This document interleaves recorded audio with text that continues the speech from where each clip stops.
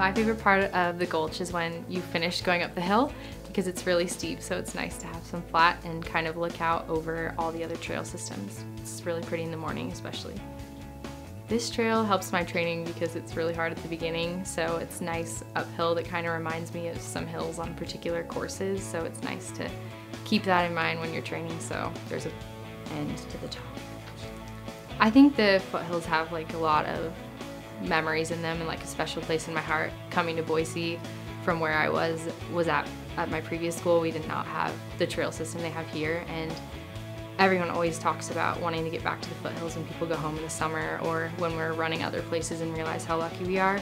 So I think they'll always have a special place and I hope to get back to Boise after I graduate at some point, even just to live for a little while to keep enjoying the foothills.